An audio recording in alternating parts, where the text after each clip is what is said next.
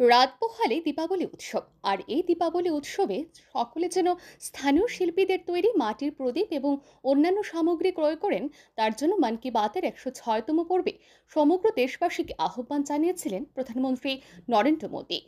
আর প্রধানমন্ত্রী এই আহ্বানের সাড়া দিয়ে শনিবার খয়েরপুর বিধানসভার নোয়াবাদী এলাকার কোমরপাড়ায় পৌঁছে কোমরপাড়ায় মৃৎশিল্পীদের কাছ থেকে মাটির প্রদীপ ক্রয় করেন ভারতীয় জনতা পার্টির রাজ্য সভাপতি রাজীব ভট্টাচার্য।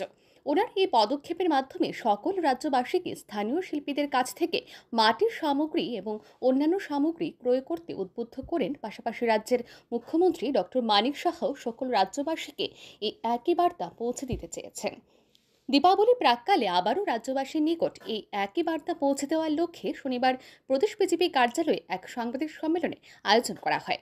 এদিনের সম্মেলনে উপস্থিত ছিলেন ভারতীয় জনতা পার্টির প্রদেশ সম্পাদক জসিমউদ্দিন, ভারতীয় জনতা পার্টির জনজাতি মোর্চার সাধারণ সম্পাদক ডেভিড দেববর্মা প্রদেশ বিজেপির মুখপাত্র অস্মিতা বণিক তো আজকে যে বিষয় নিয়ে আপনাদের সামনে আমাদের আসা, আমরা ইতিমধ্যে ভারতের যশস্বী প্রধানমন্ত্রী শ্রী নরেন্দ্র দামোদর দামোদর দাস মোদীজি, আমাদের যিনি রাষ্ট্রীয় প্রেসিডেন্ট, শ্রী জেপি নাড্ডাজি এবং ত্রিপুরার আমাদের আদরণীয় মুখ্যমন্ত্রী, ডক্টর প্রফেসর মানিক সাহা এবং আমাদের যিনি পার্টি প্রেসিডেন্ট শ্রদ্ধেয় রাজীব ভট্টাচার্য মহোদয়, প্রত্যেকে রাজ্যবাসীকে দীপাবলির শুভেচ্ছা জানিয়েছেন এবং একটা বিশেষ লক্ষণীয় বিষয়, ওনারা প্রত্যেকেই ভোকাল ফর লোকাল এই বিষয়টাকে কেন্দ্র করে ওনাদের শুভেচ্ছা বার্তা এবং ওনারা যে শুভেচ্ছা আমাদের জন্য উপহার তুলে দিয়েছেন প্রত্যেকেই আমরা দেখতে পাচ্ছি যে এটাতে মাটির প্রদীপ, স্থানীয় শিল্পীদের তৈরি করা মোমবাতি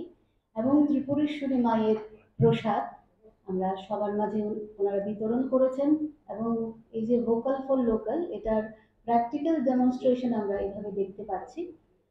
দীপাবলির যে বিষয়টা থাকে, সেটা আলোর উৎসব। এটা অন্ধকার থেকে আলোর বিজয় যাত্রা।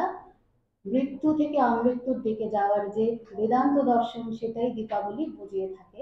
দীপাবলিতে আমরা জানি যেটা ল্যান্ডমার্ক বিষয়, যেটা আমাদের, যারা আমরা ভারতীয়, এটা জাতি, ধর্ম, বর্ণ নির্বিশেষে, যেটা আমাদের দীপাবলি আমাদেরকে যেটা সিগনিফিকেন্ট সেটা আমরা দেখতে পাই যে চোদ্দ বছর বনবাসের পর ভগবান শ্রী রামচন্দ্রের অযোধ্যায় ফিরে আসা এবং এটা একটা খুব মানে প্রাসঙ্গিক বিষয়। আমরা খুব সৌভাগ্যবান বা সৌভাগ্যবতী যে আমরা এই সময়টার মধ্যে এখন আছি ভারতবর্ষে, যে আগামী বাইশে জানুয়ারি আমরা জানি শ্রীরাম মন্দির, যেটা ভব্য মন্দির, সেটার শুভ দ্বার উদ্ঘাটন হবে এবং আমরা এই প্রাক মুহূর্তে আছি।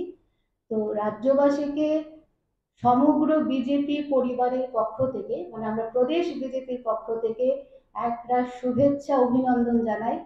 আমরা ঈশ্বরের কাছে প্রার্থনা করি, সবার জীবন সমৃদ্ধ হয়ে উঠুক, সৌভাগ্যশালী সবাই হন এবং আমাদের প্রত্যেকের জীবন যেন আলোয় উদ্ভাসিত হোক।